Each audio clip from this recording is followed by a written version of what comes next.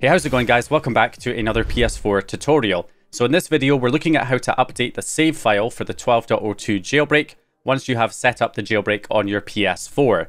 If you installed the original remote Lua loader save file, where you need to send the Lua files over the network connection and want to update to the auto loader instead so that you can just load the game to jailbreak it, or if you want to update the auto loader to a newer version as newer versions become available, once you have the jailbreak set up, it's much quicker and easier to update the save file as you don't need to install it in the original way that you did when you first tried to jailbreak the console.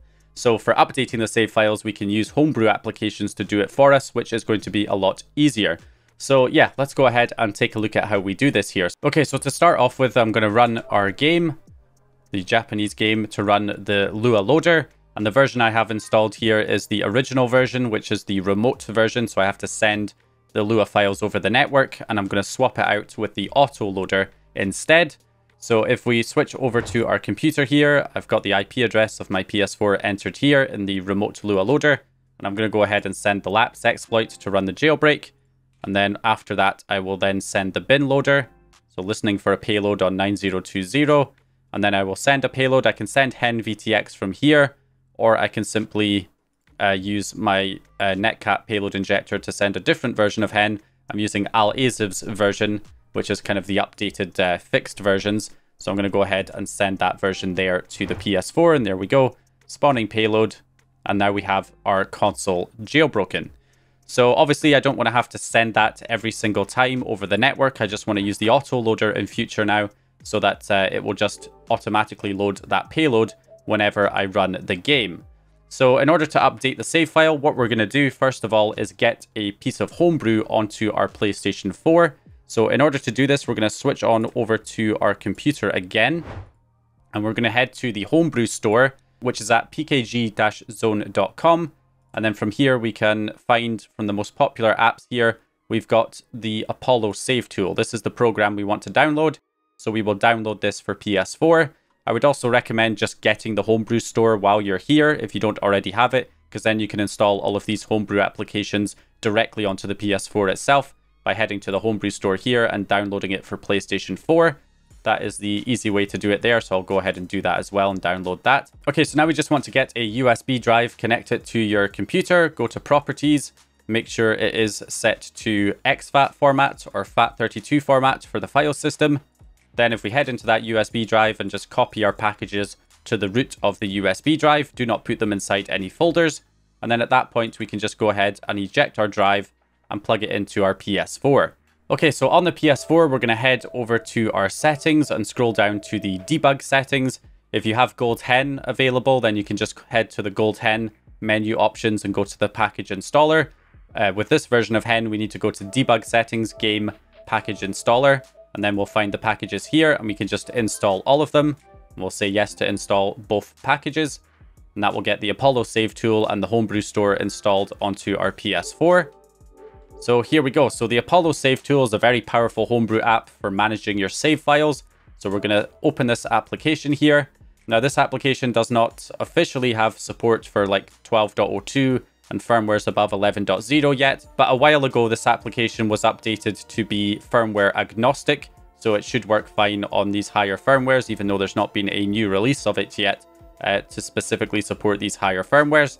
So what we can do from here is head over to HDD saves, and then we'll find our game, which is our Hamadashi creative game, which is uh, CUSA 27389 in this case. So select your Japanese game, that you're using to run the jailbreak. And then we want to go to copy save game to USB.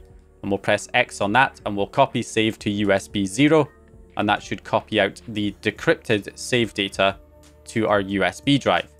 So from there, we can head back over here to the Apollo save tool. We can go to USB saves and we can see the save file that we exported is showing up here. So so now what we can do is unplug that USB drive and plug it back into our computer. Okay, so now we can head to the autoloader here, go to the code and download it as a zip file or whichever, you know, version of the Lua loader you want to use for your save file. So then if we open up that USB drive, we can go to the PS4 folder, the Apollo folder, and then we've got a folder in here that contains all of your decrypted save data. And we can basically delete all of the save data in here apart from the SCE system folder. So leave that one alone, but delete all of the other stuff inside and then replace it with whatever save data you want to use. So in my case, I want to switch it to the autoloader. So I'll head into the save data for the autoloader that I downloaded, copy all of the files in here, and basically paste them into your decrypted save data on the USB. Okay, and one last thing that we need to do is head to the root of the USB drive if you're switching over to the autoloader for the first time. We want to take our homebrew enabler payload or our gold hen payload and copy it over to the root of the USB drive here. And we're going to rename it to payload.bin. So payload.bin, make sure if you click on view and go to show that it is set to file name extensions is enabled so that you can see the full file name and make sure it's named payload.bin and then you should be good. We don't need these homebrew apps anymore because they're already installed. And now we should be all good. So we can go ahead and eject our drive and plug it back into the PS4 for the last time. And when we go back on the PS4 here, we're going to press square to refresh. So at this point, we can then select our save file on the USB. And we're now just going to copy it back to the hard drive with copy save game to HDD. And there we go, files successfully copied to save data. So that should be it. We have now updated the save file with the latest version of the auto loader. And that is all you got to do. So now we can press circle and say exit to XMB to close out of the Apollo save tool. And once that's done, we should be good. As soon as we run this, it will now switch over to the auto loader instead of the remote Lua loader. Now, just to show this properly, we'll restart the PS4 because we're already running the jailbreak right now. So we want to do a fresh reboot when we're not running the jailbreak and then load it to make sure it's all working. Okay, so after rebooting the PS4, you can see our homebrew applications are locked because we're not running the jailbreak anymore. So now what we can do is run the jailbreak by loading our Lua game. And this time it should use the autoloader instead of having to send the payloads over the network. It is now automatically loading the payload here. So there we go, payload copied successfully. So that's copied it over to the data folder on the hard drive. And now we get our welcome to hen. So we now have the Homebrew enabler running, and I can now load my Homebrew applications.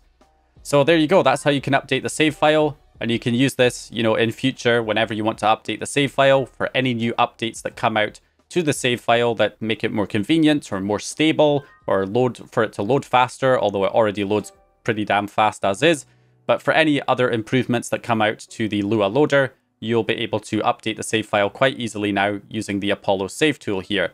So yeah, that is basically it. And you can also download, of course, Apollo from the Homebrew store itself and update it from here. So yeah, that's pretty much it. So hope you guys enjoyed this video or found the information useful. If you did, please leave a like and subscribe. And once again, I'll hopefully see you guys in the next one.